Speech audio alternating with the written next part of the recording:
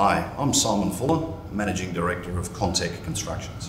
Contec Constructions uh, started in 1993 um, with a view to be a, a leading uh, small civil contractor. Uh, we've had a lot of um, changes of directions over the years. Uh, excited to be part of the project, the Positive Plans project.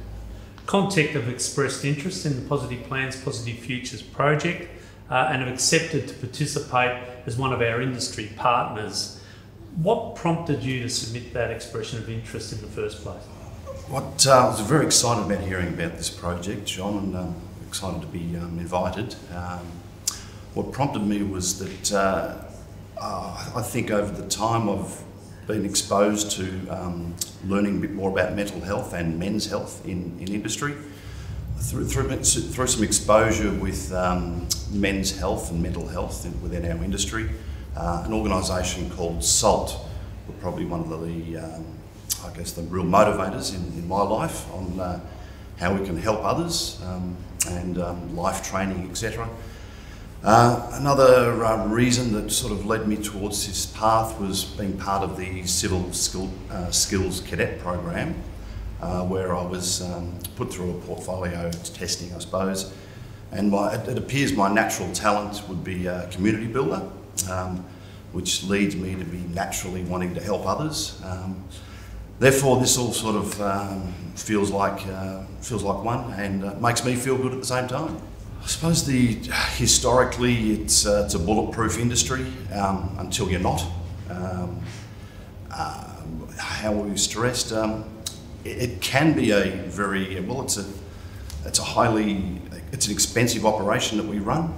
Um, mistakes can be made. Um, we are we are price driven. We need to win work at lowest price often, which leads to stress within management and then downstream as well. Um, it, it, can be stressful in the workplace. It doesn't need to be. What do you want to get out of this project, both personally and also from a business perspective? Personally, I'll go back to it makes me feel good.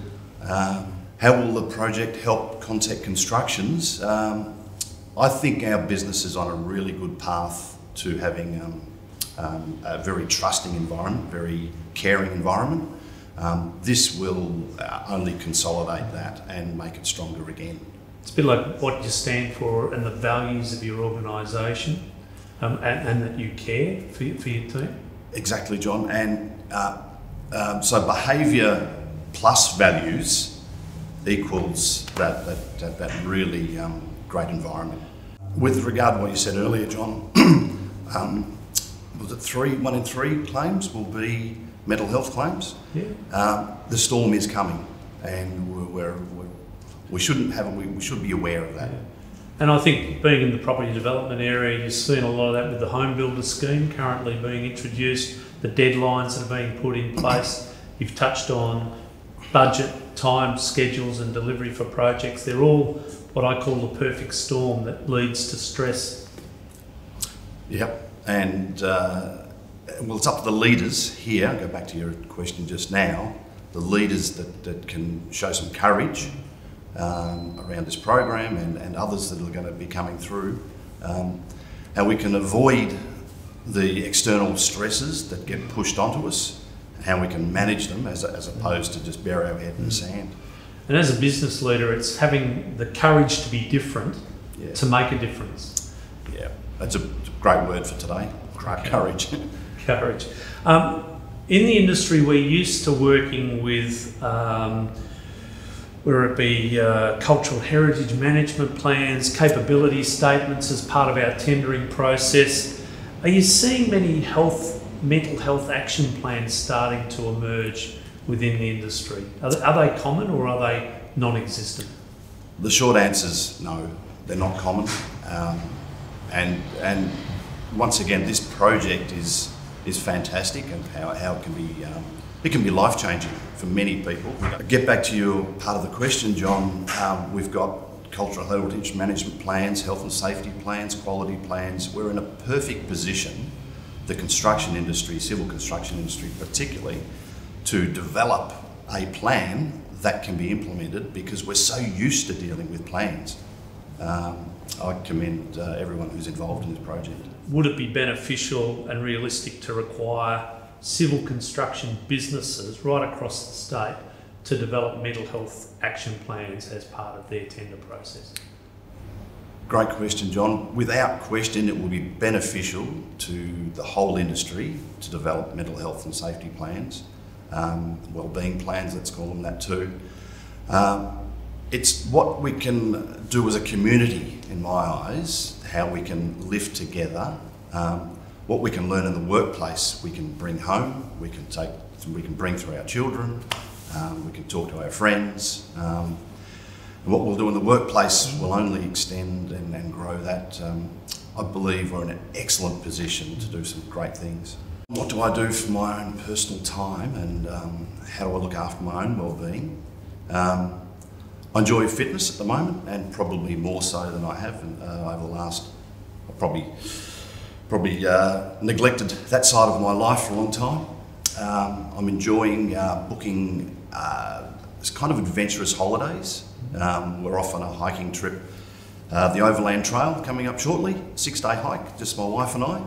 Uh, training for that now and feeling good about it. Um, spending quality time with the, with the children as they're growing. Um, our oldest is 21 now, and being, you know, the conversations are just so interesting and exciting around uh, that. Uh, and then having two other younger children as well, bringing them up and feeling wonderful about that. Um, I enjoy uh, some eclectic uh, collections these days. I'm collecting um, antique maps from around the world. Uh, just something that's just a little bit different.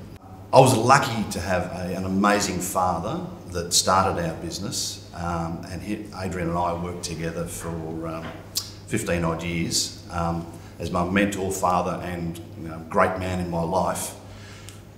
The work ethic that my father brought to our business was the man become is second, the business is first. It's an old style of management and culture that that was good for a while, but it's, it's different now, and times are different. Um, so I was shown how to work hard. that was it. You, you can get really excited about what you do. Um, at, at, our business, at Contec, we have a culture of trying to have individuals um, stay on one project from start to finish. Um, we get some amazing conversations around the, the guys taking their families to the worksite once it's completed to show them just how proud they are of a brand new tennis court, sporting facility, um, all the rest of it, community assets. Um, and, and I can drive around Melbourne and uh, point out all over the place, just and, and with a lot of pride. Uh, so look, I'd love to see um, more, uh, more people enter the industry with a long-term plan uh, as opposed to falling into the industry, which has been historically one of the entry points to our industry. I think we should be doing a bit more as an industry, and, and our business is to keep the ageing um, individuals in the workforce a little bit longer. Um, we've had a program of um, having six months on, six months off for some of the ageing guys. Um, in one case, it was a guy that didn't, uh, his body didn't cope with the heat, so he chose to have summer off and winter on. Um, and he did that for four years and extended his working life that much longer. Importantly for me, um, the skills and the, uh, the care, or sorry, firstly, the skills that he passed on was amazing, but the care the business showed to, his name was John, um, was second to none as well. Mm. And there's some, some good leadership there. You touched on mentoring. Is there an important role there as a mentor that you believe business leaders can play particularly as um, people are starting to, to leave the industry and retire, uh, in supporting young people into the industry? Uh, I think mentoring within our industry is exactly where we should be aiming. Um, it's it's um, within our business, and one of my philosophies is building strong teams. Now, a strong team will generally have a, a leader of a sort, call that person a mentor or a couple of mentors within that strong team. Uh, I, I, think um, rewarding and um, celebrating those mentors will bring others up to be to, assume that role as well or want to assume that role as a mentor. You, are there any final, I suppose, messages you could leave um, our members uh, regarding your vision for the future? What would you like to see happen over the next five to ten years within the industry in the area of positive mental health and well-being? I used the word celebrate before. I, I would like to see us celebrate the good things more regularly uh, around looking after each other. I'm not too sure I mentioned it before, but a, a culture of um, care within our within our business is very important to me. Um, potentially, we could have uh, more of a care culture across the board um, in the next five years, John. Yeah. Simon, I want to thank you for making the time available to the Civil Contractor uh, Federation, being a founding member, uh, an industry partner for this exciting program, and to giving us your own personal insights here today. Thanks very much. You're welcome, John. Pleasure.